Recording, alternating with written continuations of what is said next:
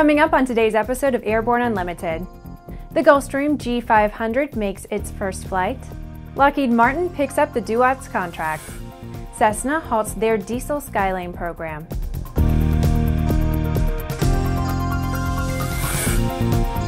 I'm Bree Cross. It is May 19th, 2015, and this is Airborne Unlimited.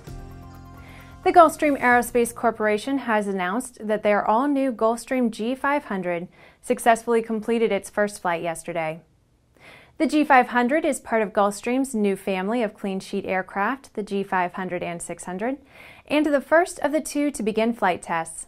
The G500 took off from Savannah Hilton Head International Airport and climbed to a maximum altitude of 15,000 feet. During the two hour and 16 minute flight, the crew exercised all primary flight control systems, evaluated handling qualities, performed simulated approach and go around procedures, and checked all systems using the new Symmetry Flight Deck touchscreen controllers. The aircraft achieved a maximum airspeed of 194 knots. The G500 flight test program consists of five aircraft, including a fully outfitted production aircraft that will allow the company to test all the interior elements and complete integration of the aircraft systems with the passenger experience. The G500 can fly 5,000 nautical miles at Mach 0.85 or 3,800 nautical miles at Mach 0.90. It is powered by the new Pratt & Whitney Canada PW814GA engine.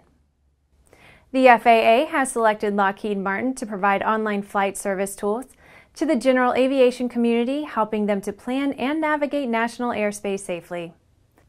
Under the DUATS 2 contract program, Lockheed Martin expands their current work to provide weather information, flight plan processing, and in flight support to pilots. These services are provided both on the ground during pre flight planning and in flight with operational updates and emergency services.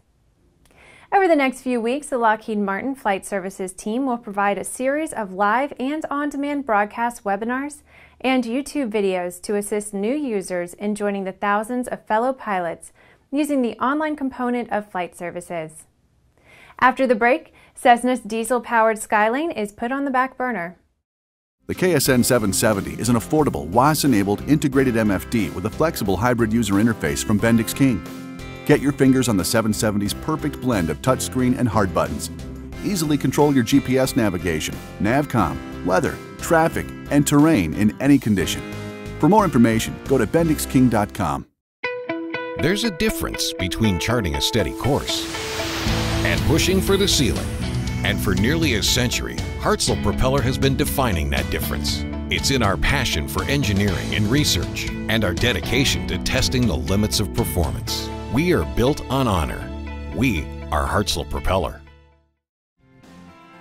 AML's patent pending wireless induction charging system eliminates confusion over those charging cables, cuts down cockpit cable clutter, and allows you and your passengers to fly cordless and eliminate the cable nightmare. www.aviationmodificationleaders.com. Welcome back. If you have a story suggestion for Airborne Unlimited, Aero TV, our website, or podcast, just email to news-spy at aero-news.net. Cessna has stopped taking orders for its planned Cessna 182 JTA diesel-powered aircraft but an avgas-fueled version of the airplane is about to return to production. Cessna spokeswoman Lindsay Adrian confirmed that the company, quote, is currently not taking new orders for the 182 JTA. Maintaining the relationships we have with our customers is of the utmost importance to us. Because certification has taken longer than expected, we are giving order holders options, including having their deposit returned, end quote. The Skylane was to have been powered by an SMA SR 305 turbocharged engine but one test aircraft suffered a turbocharger failure early in its development. Cessna had sought full certification for the engine rather than an endorsement of European certification. Cessna has already taken several orders for the Lycoming powered 182T airplanes, including 17 from the Civil Air Patrol. Every Tuesday, we're going to look ahead at some of the more interesting events in the aviation universe. Here is this week's Aero Calendar.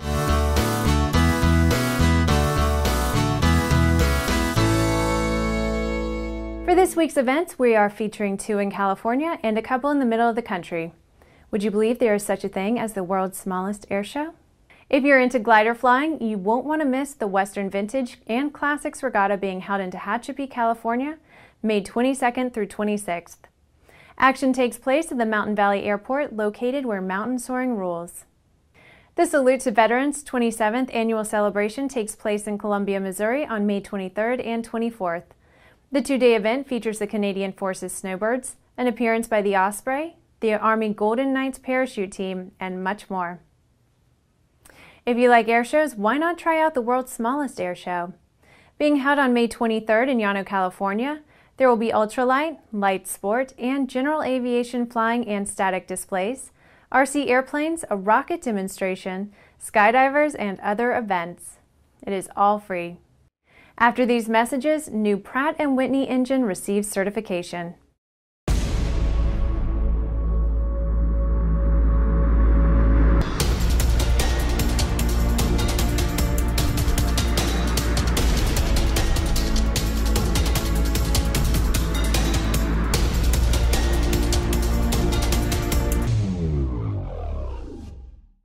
Sandia introduces the new SAI 340 Quattro TSO'd airspeed, attitude, altitude, and slip. With integral backup battery, safety never looked so good. See it now at www.sandia.aero. Now certified, Aspen Avionics single band ADS-B ATX 100 and ATX 100G transceivers are the next gen ADS-B solution that provides the features pilots need while keeping flyaway costs low. Check it out now at aspenavionics.com. Redbird is quickly becoming the industry standard for flight training. Since Redbird introduced its revolutionary FMX in 2007, colleges, universities, and flight training operations around the world have integrated Redbird products into their curriculum. It's time to discover what Redbird can do for you. Join the migration. Welcome back. With so much news coming out of the aviation industry, we're summarizing some other interesting stories in a brief segment we call Around the Patch.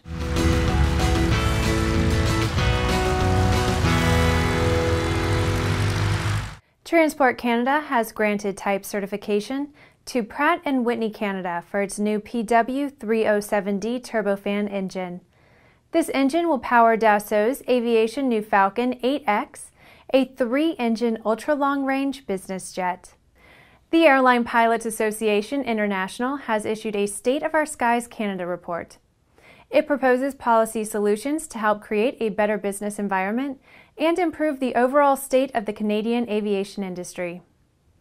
The National Air Transportation Association provided members of the Senate Commerce Committee with its views on air traffic control reform. This meeting was in advance of the committee's hearing entitled FAA Reauthorization, Air Traffic Control Modernization and Reform.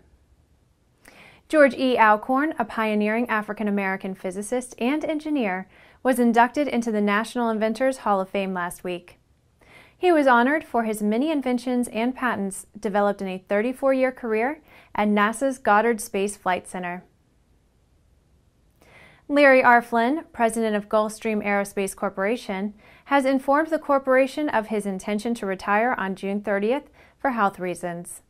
Mark L. Burns, president of product support for Gulfstream, will succeed Flynn as president of Gulfstream. Well, that's it for today's trip around the patch. Now let's move on to the rest of the news. We reminded you a couple of months back that the Valdez type short takeoff and landing demonstrations are on the schedule again for EAA AirVenture 2015. So if you're wondering why we're bringing it up again, it is because the actual Valdez competition was held earlier this month and the competitors put in some fierce performances. Bobby Breeden needed only 44 feet of runway to take off and land in an experimental Glacier Cub. This performance topped off all others at Valdez and placed him as the winner of the alternate Bush class. Breeden paired a 24-foot takeoff with his second 20-foot landing of the day in less than ideal conditions, including 14-knot winds. The Valdez STOL activities at AirVenture this year will take place during the afternoon air show on selected evenings at EAA AirVenture's grass airstrip for ultralights on the south end of the grounds. This is definitely something you do not want to miss. Well, that's our program for today. Remember to get comprehensive, real time, 24 7 coverage of the latest aviation and aerospace stories anytime at aero-news.net. Remember that Airborne Unlimited is streamed daily, Monday through Friday, with additional breaking news bulletins for important stories that fall outside of our normal deadlines.